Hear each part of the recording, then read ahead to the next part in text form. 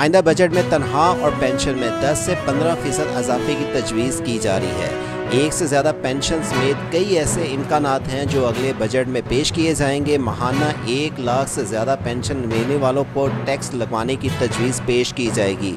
आइंदा बजट 2024 और 25 का जो पेश किया जाएगा, उसमें कई ऐसी अपडेट आने वाली हैं जिसमें 10 से 15 फ़ीसद इजाफा भी होगा और इसकी जो मज़ीद अपडेट होगी, इसी यूट्यूब चैनल के ज़रिए आपको अपडेट दी जाएँगी। चैनल को सब्सक्राइब कर लें।